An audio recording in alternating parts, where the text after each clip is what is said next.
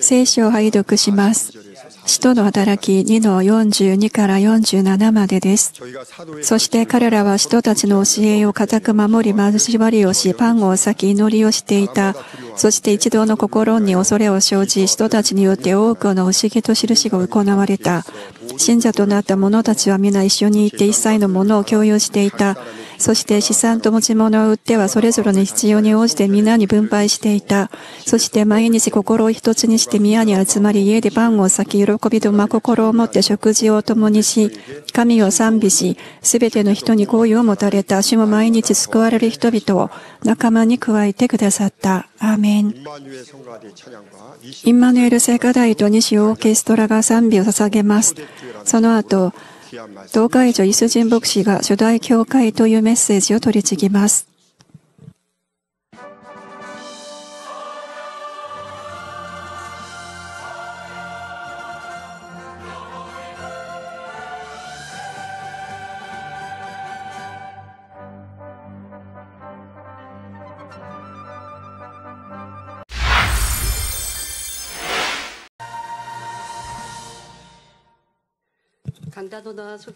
講談喧嘩を紹介します。喧嘩者は長老会です。清めの福音と火のような神の力の技によって世界宣教をして万民にくださったビジョンを実現するように導いてくださった三名一体の神様に栄光を捧げます。モーセの後を継いでカナン征服の使命を完全に全うしたヨシオのように信仰で行軍する委任牧師を喜び、神の力を与えて栄光を受けになる神様に感謝します。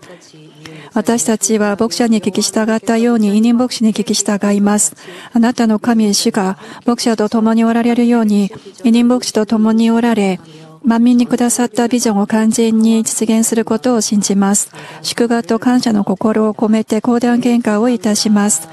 はい、感謝します。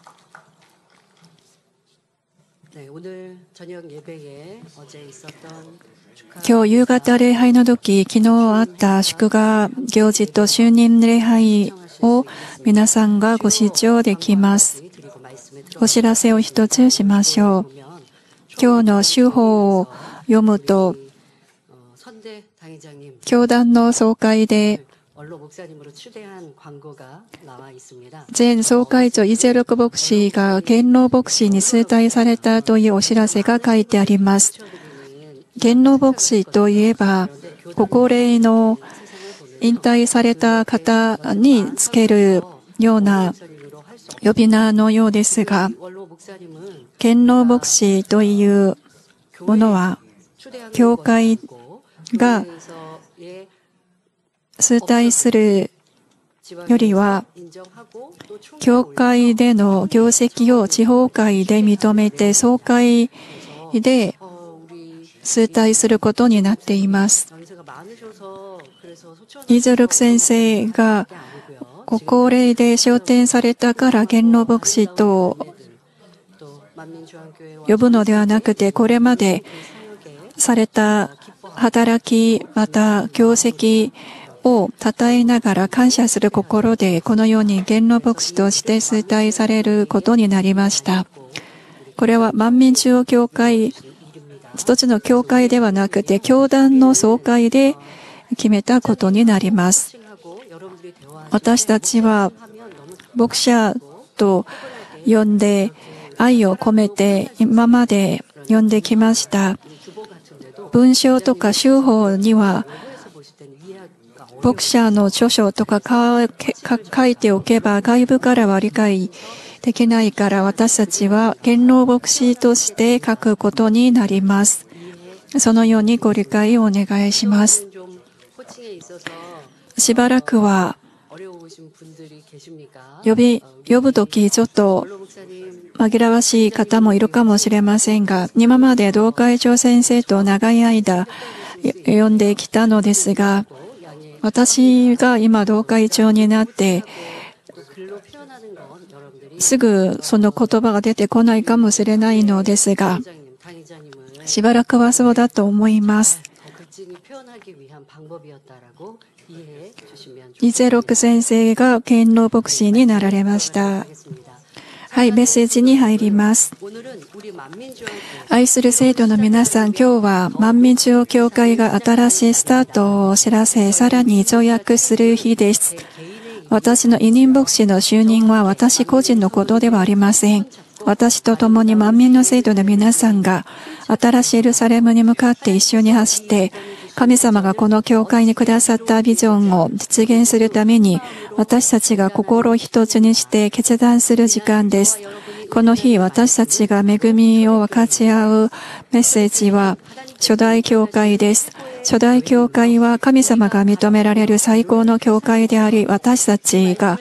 見習うべきモデル教会です。このメッセージを聞いて私たちが進んでいくべき道、私たちが祈る内容は何かを悟りますように。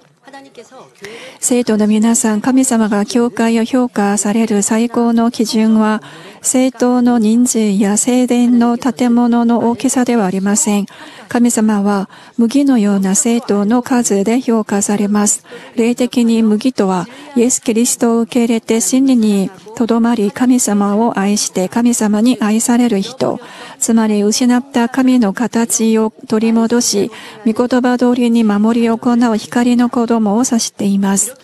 このように変えられた生徒人数がどのくらいいるのかというものが神様が教会を評価する一番重要な基準になります。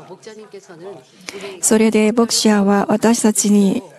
清めの福音を教えてくださり、神様を第一に愛するようにと教えてくださいました。この初代教会というメッセージは前、牧者が伝えてくださったメッセージに基づいています。この教会が初代教会のように神様に認められる教会になるようにと願い導いてくださいました。このような光の子供、麦のような生徒が増えるようにするために、完全に手術を守るように、また十分の知見金を完全に捧げるように、基本的な信仰生活ができるようにしてくださり、目を覚ましていて祈るようにしてくださいました。神様はエジプトから出たイスラエルの民全員より神様に似たモーセ一人をもっと愛して尊く思われました。神様は差別されるとかエコひいきされると思ってはいけません。これは正しいことです。神様はご自分にそっくりの誠の子供を得ることが人間工作の目的だからです。冬より、冬からも農夫は次の年の農作業のために準備をするのではありませんかそのために春種をまいて、また夏汗をかきながら苦労しながら育っています。雨が多く降るときはね、眠れないまま気を使います。そして秋になって収穫の時になって期待しながら行ってみたら全てが空のままならばどれほどがっかりするでしょうか。麦のようなしっかり実を結んだ良い実を得たいと思うでしょう。良い実を刈り取ろうと思ったのに、果樹園の場合も木から落ちてしまった果物もたくさんあったり、でなければ大きさが小さかったり、また蝕まれたり、売るものではない場合は、農夫はどれほどがっかりしてしまうでしょうか。そしてそういうものは収穫しないのです。収穫、さあ神様も同じような心ではありませんが、多くの人がクリスチャンだと言いながら教会に通っていて、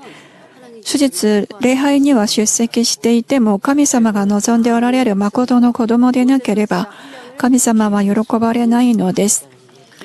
イスラエルの民全体より神様はモーセ一人を愛して尊く思われました。出エジプト32の9から10、主はまたモーセに仰せられた。私はこの民を見た。これを、これは実にうなうちの怖い、怖い民だ。今はただ私のするままにせよ。私の怒りが彼らに向かって燃え上がって私が彼らを立ち滅ぼすためだ。しかし私はあなたを大いなる国民としようと言われました。ところで初代教会の生徒は誠の信仰を持っていました。多くの人が命が危なくなっても変わらない信仰を持っていました。このような無下のような生徒が集まったところが初代教会でした。それでは初代教会はいつどのように作られましたかイエス様が蘇られ、昇天された後、聖霊を受けたイエス様の弟子たちと生徒が十字架の言葉を伝えるようになって多くの人が悔い改めてバプテスマを受けて聖霊を受けるようになりました。イエス・キリストが救い主であることを信じて受け入れるようになりました。そのような人々は毎日集まって神様の御言葉を分かち合い祈りました。これが教会の始まりになりました。この教会を初代教会と呼んでいます。ところで、この初代初代教会の基礎になったイエス様の弟子たちはもちろん、生徒の中でも、イエス様がこの地上におられる間行っておられた無数の印と不思議を目で見てイエス様の復活と昇天も目で見た人がたくさんいました。そして初代教会の生徒は人たちによって現れる印と不思議も目で見ながら信仰生活をしたので、自然に精霊に満たされて信仰も大きかったのです。ですから当時、キリスト教に対する弾圧がひどかったのですが、初代教会はますますリバイバルして彼らを通してその福音はヨーロッパに伝えられ全世界に伝えられました。皆さんイエス様は私たちのそばにおられるのではありません。目の前におられるのではありません。十字架で亡くなれ蘇られ昇天されました。神様の御座の右におられます。しかし、イエス様のそばにいた人たち、またイエス様の蘇られた姿と天に昇られる姿を見た生徒たちの信仰は大きかったでしょう。そして自分がそれを見たからどうして黙っていられるでしょうか。イエス様がなさった驚くべき印と不思議を目で見た人々がたくさんいました。ですからそれを心を尽くして熱く伝えました。それで教会がますますリバイバルしました。そして生徒が集まればイエス様について伝えました。イエス様が生きておられる間、どんなお話をされて、どんな奇跡を表行っておかれたのかを説明するようになったでしょう。人たちと、また生徒の皆さんがそれを伝えるようになりました。イエス様のお働きを見ていた人々はそれを多くの人々に伝えたでしょう。そのようにして信仰が大きくなりました。それで、週に出会ったことがなかった生徒も信じるようになって、同じように神の力ある技が現れるようになっているから、それを体験しながら、主イエスキリストを信じて、信仰が成長するようになって、命が危なくなっても信仰を守ることができました。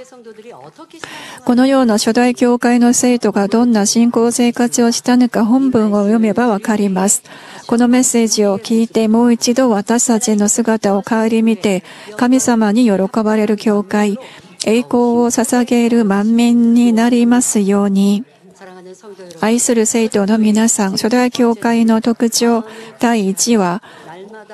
毎日心を一つにして宮に集まったことです。本文46節そして毎日心を一つにして宮に集まり、家でパンを裂き、喜びと真心を持って食事を共にしとあります。初代教会の生徒は集まることために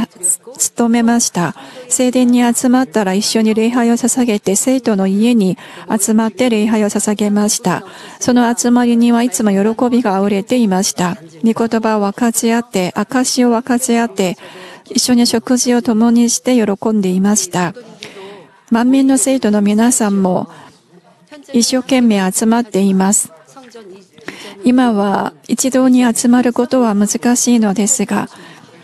聖殿が新しい聖殿に入るようになれば、以前の姿を回復するでしょ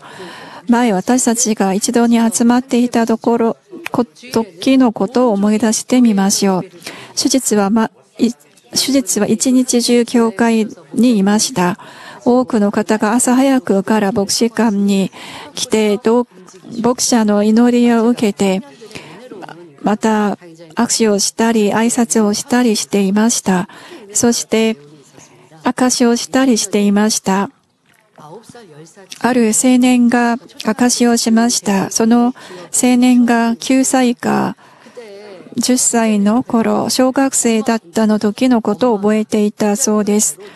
その時はお母さんが牧者に会いに手術朝早く起こしたそうです。でも、その人は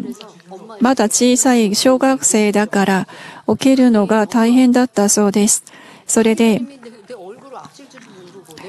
お母さん、同会長先生が私の顔を知るかどうかもわからないのにどうして会いに行くの？と言ったそうです。そして、お母さんと一緒に牧師館に来て挨拶をしたのですが、その日は牧者がこの人を見て、誰々君来たの？と言ってくださったそうです。それは精霊の働きですね。それでこの青年がその時とても恵みを受けて、10年経った今もその時の恵みを忘れないで自分自身を守っているという手紙が届いて私もとても感動しました。万民の生徒の皆さんは皆朝早くから来ていろいろ奉仕をしてくださっていましたね。そして聖殿の、本聖殿のの席を取るためにも早く来られたのですね。そして、一日中聖殿にいました。大礼拝を捧げて、また食事をしてから夕方礼拝を捧げて、その後も宣教会の集まりがあったり、聖火台の練習とか、月礼会とか、会議があって、ダニエル祈祷会まで全部してから家に帰りました。どれほど素晴らしいでしょうか。大した方々ですね。世の人々は、土日は休みの日で、そして月曜日出勤するときは、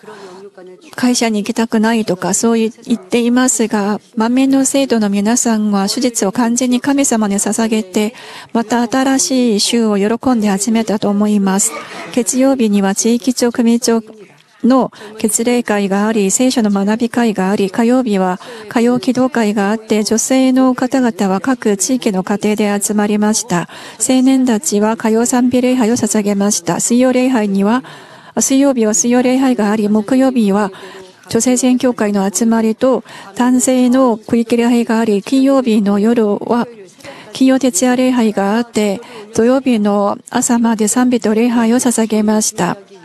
そして土曜日は手術に備えて、生徒の皆さんが聖殿に来て掃除をしたり、奉仕をしました。今、伝えたこと以外にも、生徒の皆さんは、それぞれの所属している教区や宣教会でいろいろな集まりがあったと思います。また個人的にも伝道して忙しかったと思います。このように毎日聖殿に集まっていました。これは万民教会だけが特別だからそうしたのではなく神様の御言葉通りに従っただけです。ヘブル10の25にある人々のように一緒に集まることをやめたりしないで帰って励まし合い、かの日が近づいているのを見てますますそうしようではありませんかとあります。かの日とは主が空中に再臨される日、裁きの日です。2000年前の初代教会の生徒も再臨の死を待ちながら集まりました。まして今は主がまた来られる日がどれほど近づいているでしょうか。ですから、励まし合ってさらに集まる皆さんになりますように、今は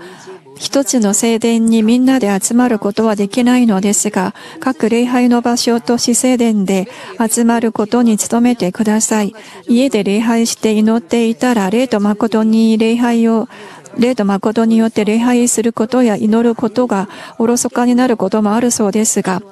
今はコロナの時代でもないから、なるべく一緒に集まって礼拝して祈り、前の熱い信仰を回復しますように、ところで私たちが考えてみることがあります。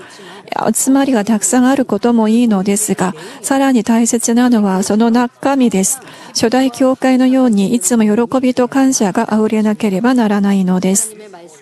神様の御言葉で恵みを受けて喜びを分かち合い、証をしながら感謝が溢れるのです。そして、証をする人も、神様に栄光を捧げて、そして証を聞く人も、感謝しながら信仰が成長するようになるのです。あの人が癒されたことが私と何の関係があるのかと思ってはいけません。その方の信仰と癒される過程を聞きながら自分にも適用して自分も信仰を示すようになるし、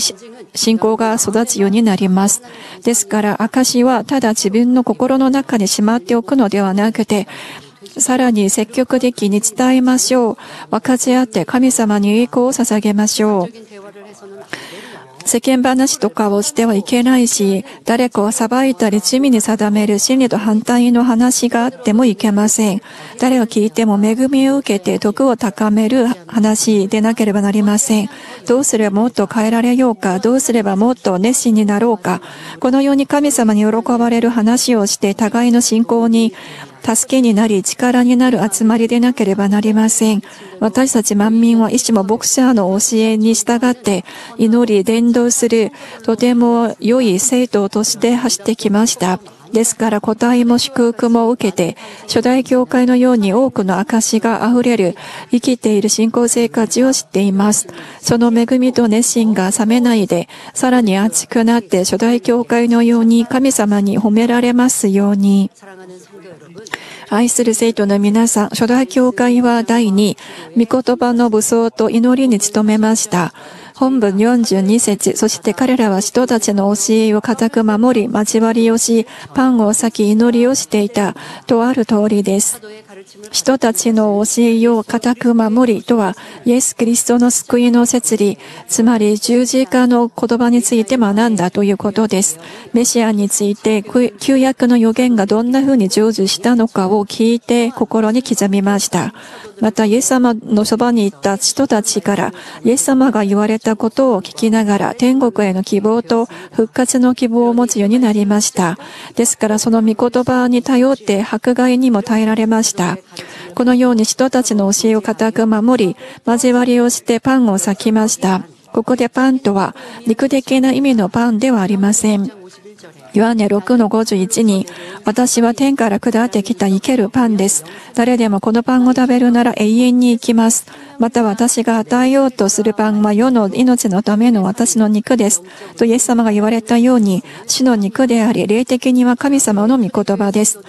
初代教会の生徒は聖殿に集まり、生徒と共に真理を学び、恵みを分かち合っただけではなく、家でも神様の御言葉を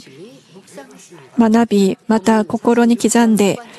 口ずさんでいました。本文46節家でパンを裂き、喜びと、ま、心を持って食事を共にしたとあります。これは家でも日常生活でもいつも神様の御言葉の近くにいて、それを糧としていたという意味です。したがって今日も正しい信仰生活は、ただ手術に一回神様の御言葉を聞くことで終わるのではなく、聞いた御言葉を一週間の間、思い巡らしながら行いとして実行しなければなりません。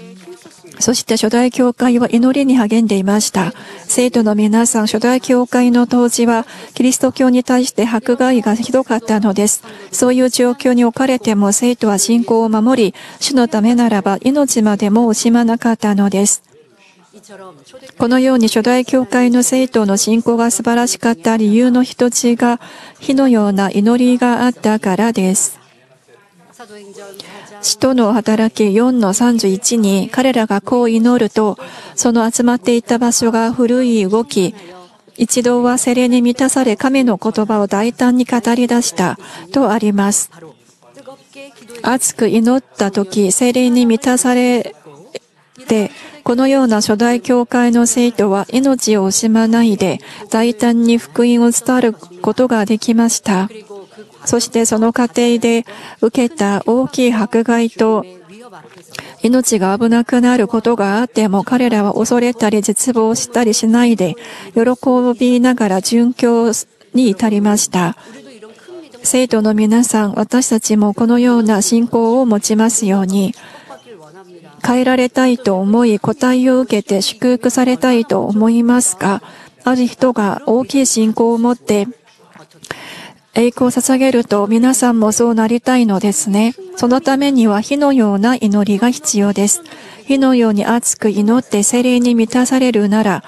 十分御言葉を行うことができるし、信仰を固く守ることができます。そしてその信仰が完全なものになるためには心の割礼をしなければなりません。するとその信仰は霊の信仰だから変わらないのです。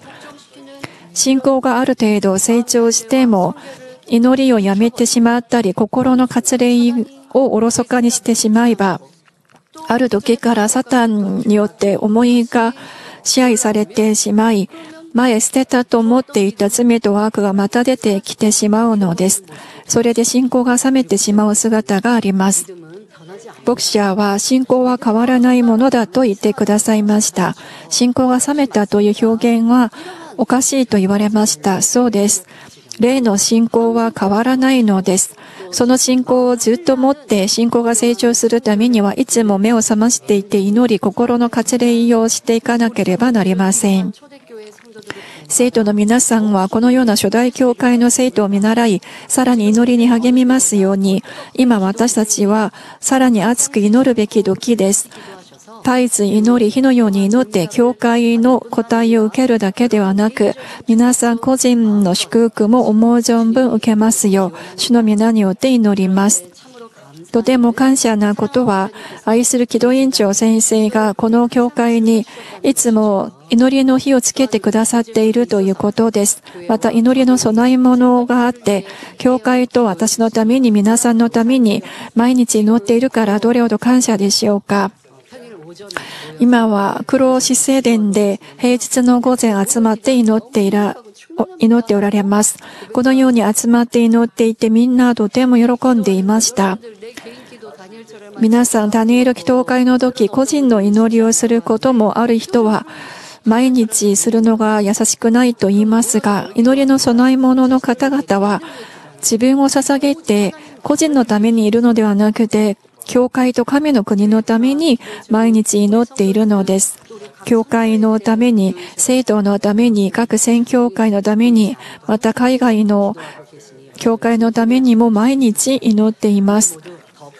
どれほど心強いでしょうか？私たちは皆さらに火のように祈って、この教会への神様の摂理を実現しますように、愛する生徒の皆さん、巨大教会、初代教会は第3、人たちによって多くの印と不思議が行われました。本部43節、そして一同の心に恐れが生じ、人たちによって多くの不思議と印が行われたとあります。初代教会は人たちはもちろんステパの執事やピリピ執事を通しても印と不思議がたくさん現れました。ですから生徒の皆さんは迫害を恐れないで、その神様への信仰を固く守ることができました。印と不思議が現れるということが確かな証拠ではありませんか神様が共におられるという確かな証拠だから私たちは大胆に出ていて神様の福音を伝えなければならないのです。教会に印と不思議がなければ、神様の福音を伝えるとき、自信がないかもしれません。しかし神様が共におられるという確かな証拠があれば、どれほど心強いし、大胆になるでしょうか。神様が私たちを愛してくださる印なのです。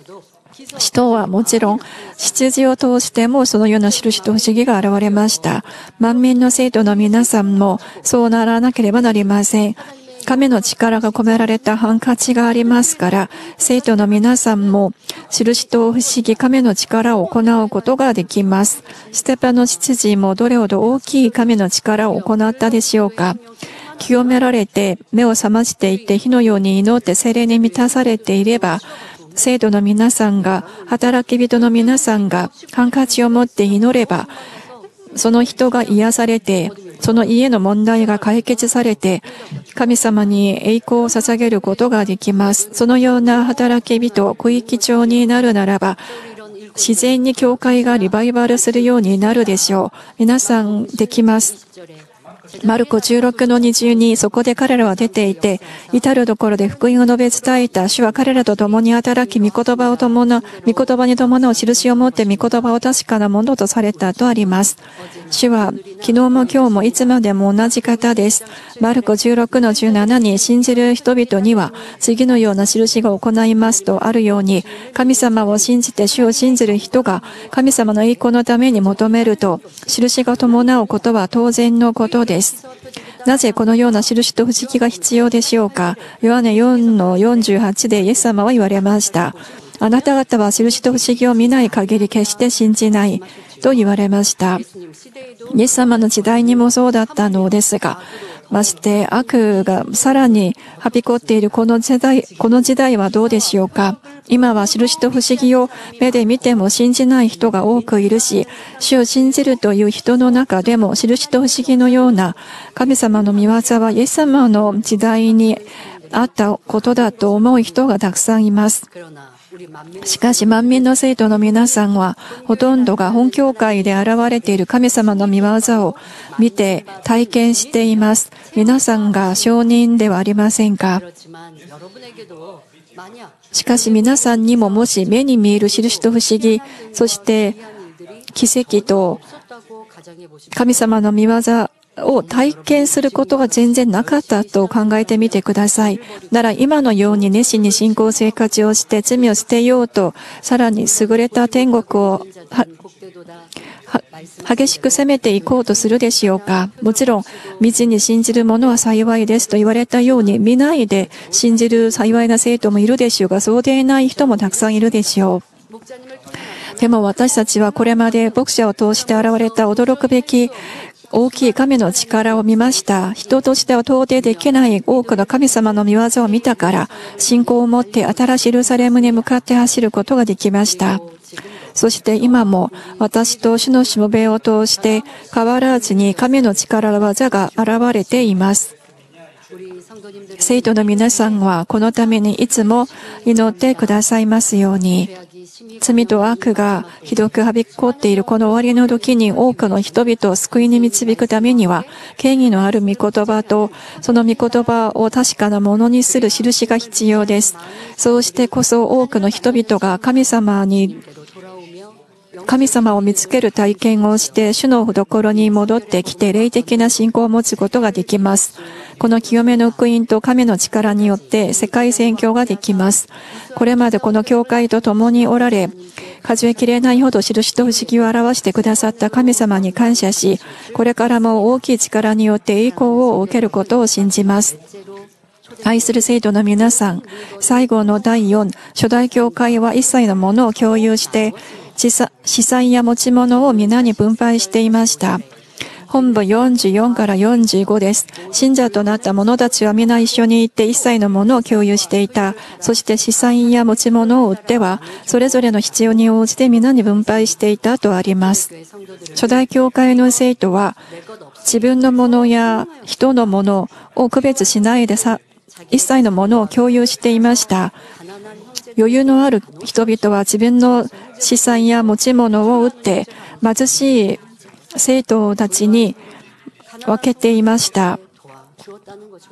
自分の兄弟のように愛するからですね。主の血によって結ばれた兄弟姉妹をこと、口と口先だけで愛するのではなく、行いと真実を持って愛したからです。神様がそれをご覧になってどれほど喜ばれたでしょうか。ですから初代教会を神様は認めてくださり、最強の教会と評判されているのです。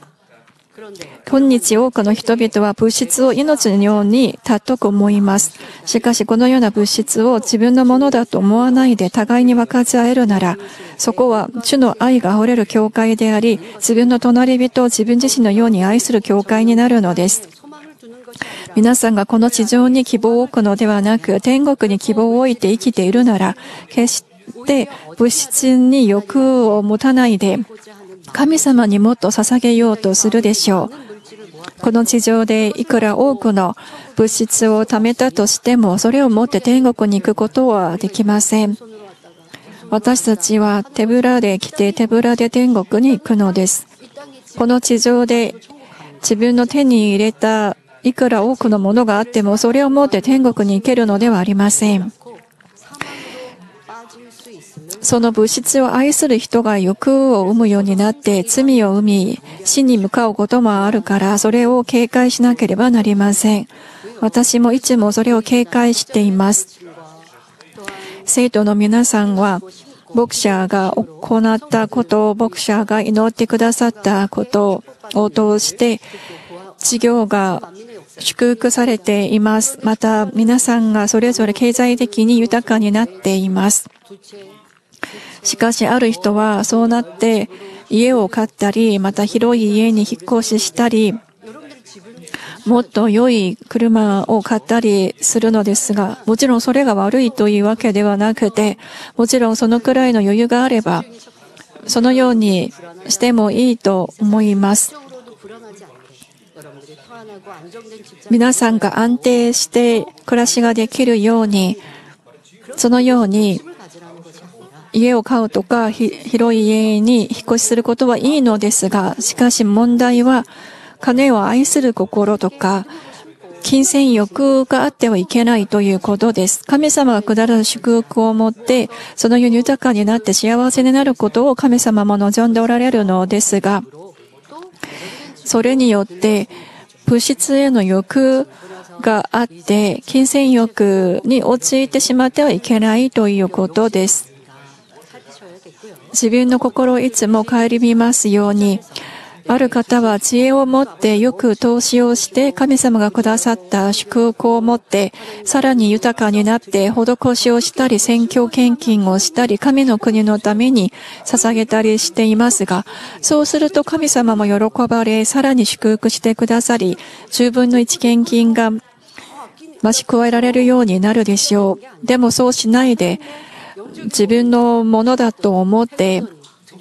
使わないで貯めておいて神様の国のためにも捧げなければそれはそれ以上豊かにならないのです。ですから私たちはもっと知恵ある人になって神様のためにも捧げて施しもして兄弟姉妹を助ける皆さんになりますように金銭欲があってはいけません。牧者はいつも言っておられました。人は良いものを食べたら舌が肥えてしまうから問題になると。なら前美味しく食べていたものも美味しくなくなってしまうとか、そのようにいつも気をつけるようにと言ってくださいました。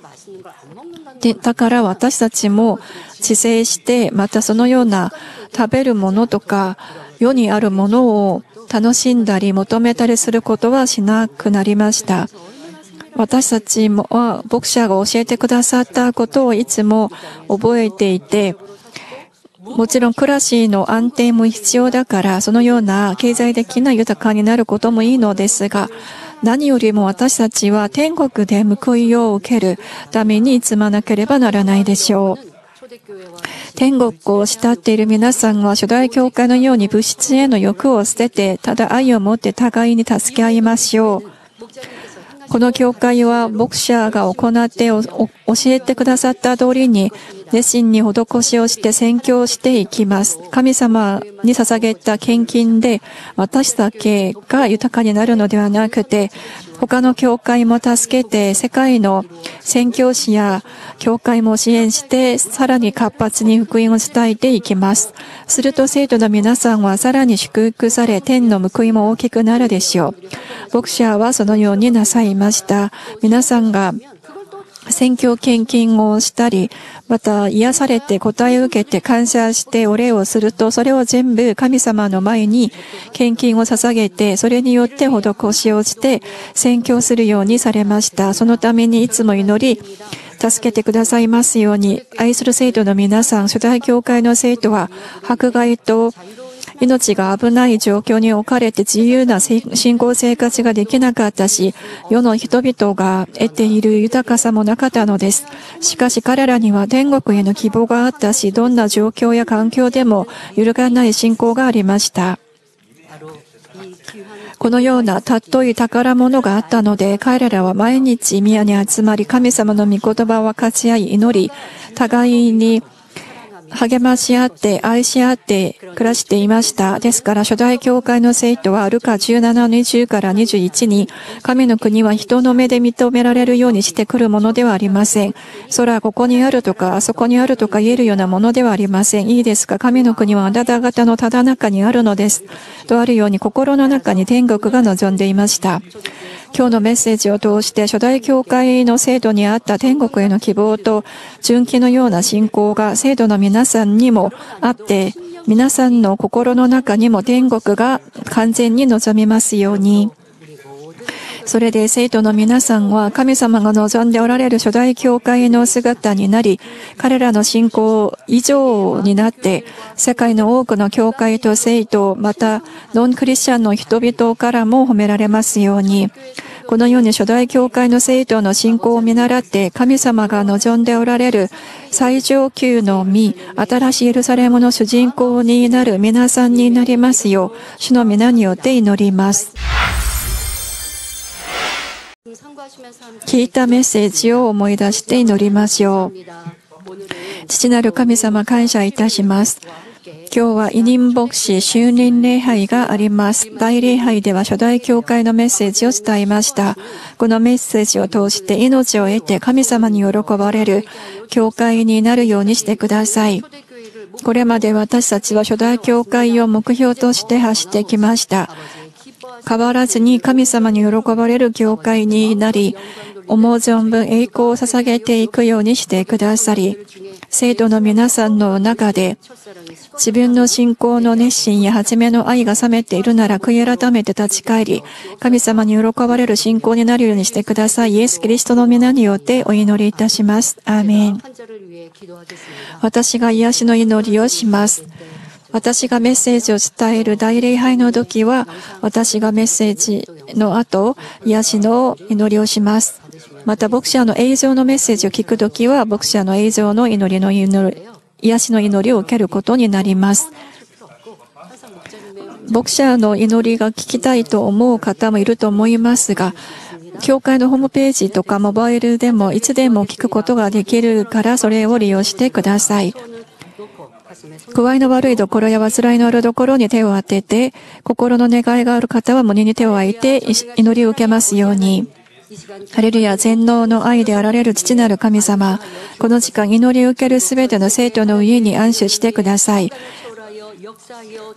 全国全世界の神様の子供たちの上に時間、時空間を超えて働いてください。信じられる信仰を与えて否定的な思いと疑いの勢力、あらゆる試練と判断も退けてください。頭からつま先まで五臓六腑、骨の節々、全身の神経、組織、細胞など具合の悪いところは皆精霊の火で焼き尽くして、初めの光で働いてください。イエス・キリストの皆によって命じる敵である悪魔、サタン、すべての病気、病原菌、患いを下がれ、光を望め、治らない病気、難病も精霊の火で焼き尽くして完全に癒してください。マラリアなどあらゆる風土病も退けてください。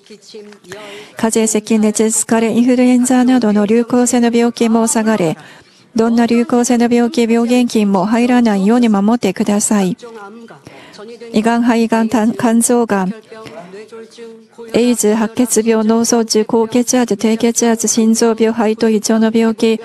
糖尿不尽病、甲状腺疾患と皮膚病、すべての炎症も完全に癒してください。小児麻痺、中部関節ネルニアも完全になり、腰痛、頭痛、神経痛など痛みは皆消えされ、転換、自閉症、うつ病、躁うつ病、ノイロジェなど、パニック障害、ノイローゼ、認知症など精神疾患も下がれ、すべての前も解けて、立ち上がり歩き走れ、目もよく見えて耳もよく聞こえるようにしてください。全く見えないものは見えて、聞こえないものは聞こえて、口の聞けないものはものを言いなさい。自己の後遺症も完全に癒して、折れた骨もつけてください。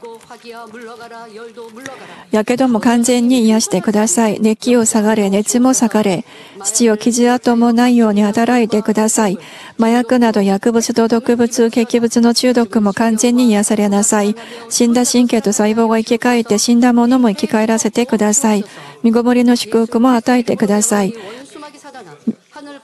イエス・キリストの皆によって命じる敵である悪魔サタン。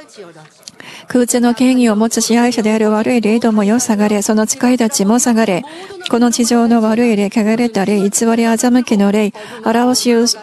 争いを起こして惑わす闇は皆下がれ、すべての悪の絆を解いて闇を下がれ、光を望め、父なる神様を主を呼び求めて祈れるように、罪を捨てて清められるように強くしてください。魂に幸いを得ているようにすべての点でも幸いをくださり、家庭も福音化されますように、一週間もあらゆる仕事を災いから守って、何をしても栄えるように祝福してください。精霊の炎の壁で天の軍勢見つかいと、主の燃える炎のような恩目で、すべての神の子供たちと家庭、職場、事業の場を守ってください。子供たちには知恵と悟りを加えて勉強もできる熱い心も増し加えてください。心と思いをこの世に奪われないように守ってくださり、神様を熱く愛するよう祝福してください。神の子供たちが食べるにも飲むにも何をするにも、神の栄光を表すように祝福してください。私は神様を見つけた体験した答えを受けた祝福されたと証しする口になるようお働きください。父なる神様感謝します。栄光をお受けください。我らの主イエス・キリストの皆によってお祈りいたします。アーメン。